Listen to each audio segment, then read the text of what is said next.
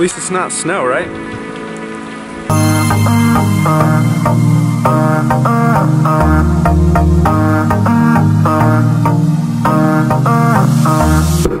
So today's an edit day.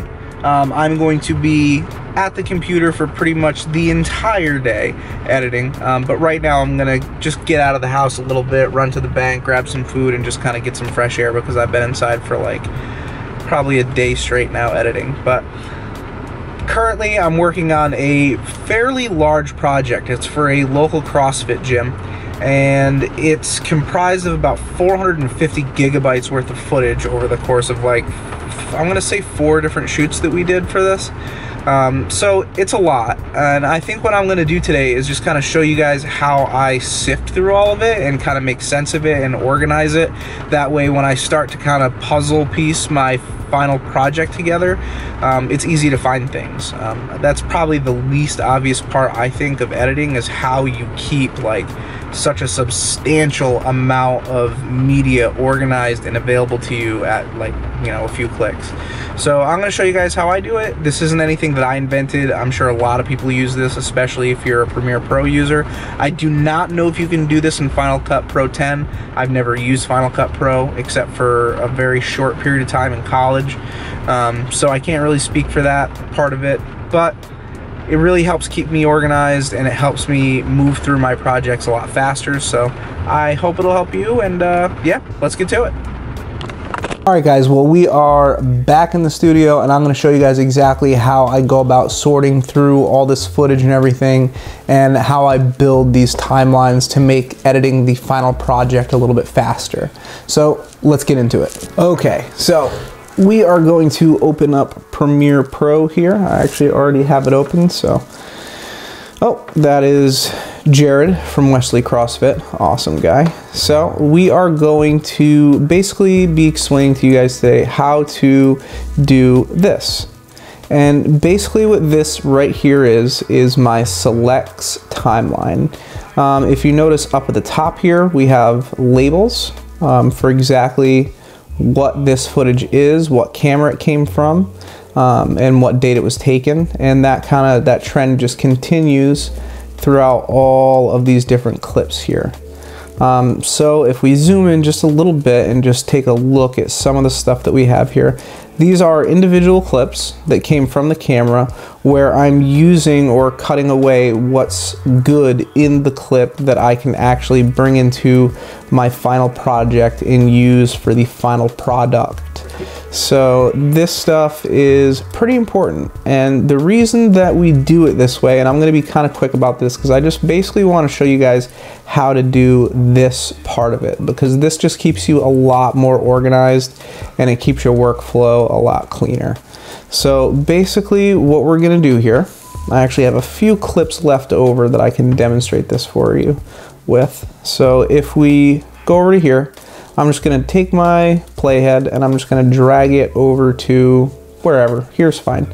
I just don't want it to be touching this footage here because this is from a different camera than what we're gonna be focusing on now. So if we go into, let's see, I think it's this folder. No, let's see, where did it go? Yep, this is it. Okay. So during, or I'm sorry, after the interviews that we did with the Westerly CrossFit, there was a barbell workout for their barbell club.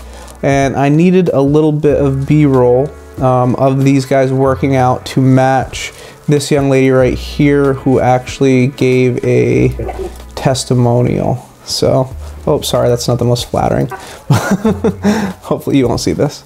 However, so what we're gonna do here is I'm just going to select the clips that I wish to cut from. So we're just going through the B-roll right now. So what I'm gonna do is right here is my first clip that wasn't part of the testimonials. Um, I'm gonna hold shift, go all the way down to the bottom and click. So now all of this is selected. Now what I'm gonna do from here is I'm gonna right click and I'm going to click in open in source monitor. Okay, so now everything is in our source monitor. Now, before I go any further, there's a few things that you're gonna need to know. Um, in my Premiere Pro, I have changed a few of my keyboard shortcuts here. Um, right here, my Y and my U, I use these as my source clip previous and then source clip next. That way, when I'm actually going through my footage here, um, let's see here. I'll actually just cancel out of that. When I'm going through my footage, I can press U to go to my next clip, whatever that clip may be. Okay, so that's basically what that does. Um, other than that, the only other two keyword shortcuts that I have that are a little bit different than the standard are Shift Z and Shift X. Now, this is the reason that I do this. Um, if I actually hold Shift here, you'll see right here, toggle source toggle source program monitor focus. This is important as well as this guy right here. Um, this is source clip close. So this allows me to close a source clip. Now this is why this is important. When I actually start going through this, so let's just grab our first clip here. Let's make sure that we're on our first one. Um, we're gonna start right here. Oh, I'm sorry, that's not necessary. We don't even need that particular, um, what you call it. Okay, there we go. So first one right here. This is our first clip that we're gonna pick from. I actually don't even know if there's anything usable in this, but just for the sake of argument, we're gonna go through it. Okay, so now that we're in our source monitor here, we are going to just pick a random bit of footage. Now on your keyboard, a um, couple more keyboard shortcuts that are very important is J, K, and L. Um, K is essentially the same thing as using your spacebar, which just basically plays the footage at real time. Um, you can also use L. And what L allows you to do is if I press it one time, it'll play at normal speed. If I press it two times, it'll play two times speed, four times speed, eight times speed, and so on and so forth until it's completely done. So let's just fly through here and yeah, there's really nothing too usable here. I mean, maybe this isn't even really totally in focus, but I'll just set my in points using I and my out point using O. Now, after I'm done here, I'm gonna press either period or comma, and what it's gonna do is it's gonna take that video and audio, and it's going to drop it at the beginning of my playhead. Okay, so down here, if you look closely, it's very small because it was only a little tiny bit of footage. We actually have our first clip right there. So now here's where the Shift Z and the Shift X come into play. So if you look up here, I'm gonna touch my mouse right now, but generally speaking, when you're doing this, the name of the game is to go fast, so you wanna touch your mouse as little as possible. So if we look up here into my actual um, viewing window, I have my selects timeline right here, which is actually underlined, which means this is what I'm viewing right now is what is in here in my selects timeline. Now, in order to pull more footage, I need to go back to my source. So normally the only way you could do this is after it switched you from here, you'd go up to here, click into the next window, and then you can proceed. Now, this is the way that I like to do it. So let's just back up. I'm gonna delete this, pretend like that didn't happen. We have our in and out points here, and we're actually in our source monitor. So when I go to drop this down into my timeline, I'll press period again, and it drops it down into my timeline. Now, if you look up in this window again, it switched me back it brought me to the selects timeline. So I'm no longer in my source window where all my clips are. So what I'm going to do is I'm going to press Shift Z once, Shift Z again, and it'll bring me back to that actual window where my clip is. So now I can go back here without having to touch my mouse. Now, if I'm done with this clip, what I will do is instead of pressing my U key and going to the next clip, I will actually exit out of this clip by pressing Shift X. And that closes, oh, my bad, that closes that little bit of, or that one clip, I'm sorry. So now we're in a new clip. I'll do this again. I'm gonna press L to play. We're gonna see what happens here. I really honestly have no idea. So let's see, we'll start here just for the sake of argument. I'll press L again, get it going a little faster. She does her lift, drops it down, looks like a hero. Good, okay, that'll do. So I'm gonna press O here to set my out point. I'm gonna press period again, and what you're gonna notice is it's gonna drop it back down into my timeline. Boom, so now I've switched again. So if you look in the upper left-hand corner of this window here, you can see it switched me again. So here we go again, Shift ZZ brings me back to here and in my source monitor. That way I can keep going on the same clip if I wish. I can use L. Let's just, I'll press, just for the sake of argument again, I'll press I. So I set an endpoint, press L. She does her lift, boom, drops it, good, okay. So I'm gonna press O again. So this is a new clip. I'm gonna again press period, brought me back in. Oh, I pressed period twice. My bad. Okay, so now I've done that. Now I can press Control Z, Z again, and here we are. Now, once I'm done with this, our last key again, just to kind of burn it into your brain, Shift X, and it will close out that particular clip. That way I don't accidentally go back through it. Okay, so now after this is all done, after I have some footage here that's from whatever camera, what I'm gonna do is I'm gonna hit the key M two times, so one, two, and it's gonna bring up this window right here. Now, this is my marker window, and this window is awesome because it basically allows you to organize things to a crazy extent. Um, we're gonna go a little bit into it, but not too, too far. So what I'm gonna do is I'm going to actually come up here into my name and I'm just gonna enter what this stuff is. So this was GH5 plus 24 to 105.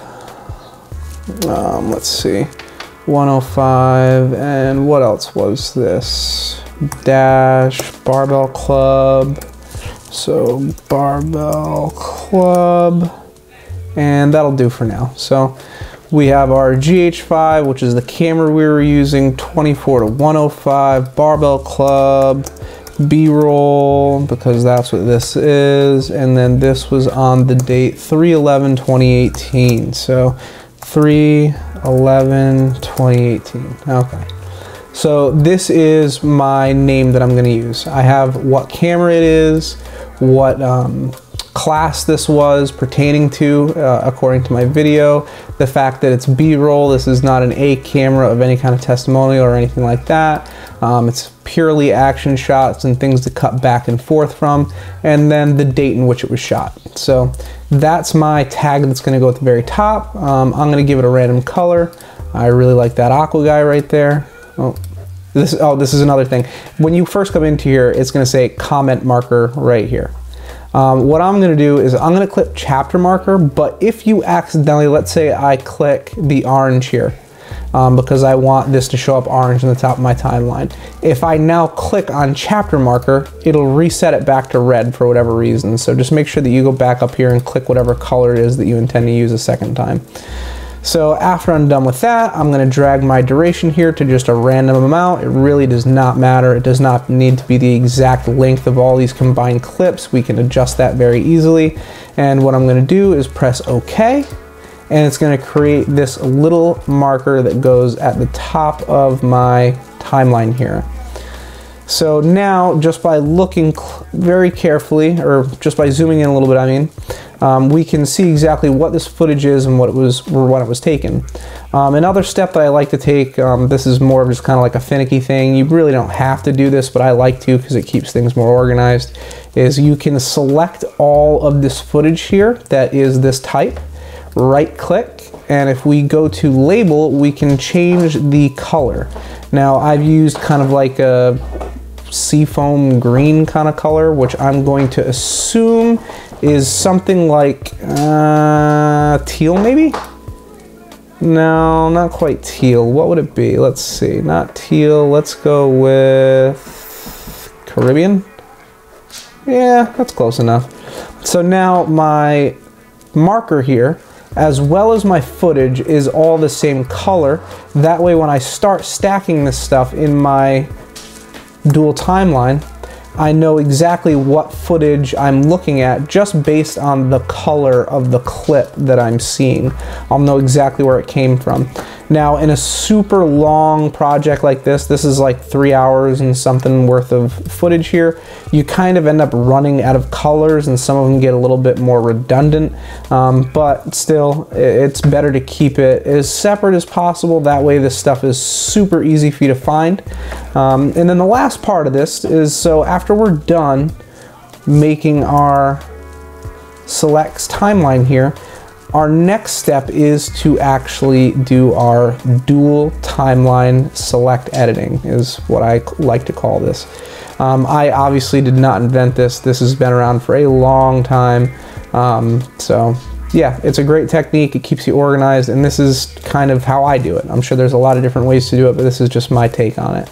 So from here, this is my assembly. This is where I usually choose to import this footage, organize it into all my different bins, and then do my actual select editing so that my timeline looks like this.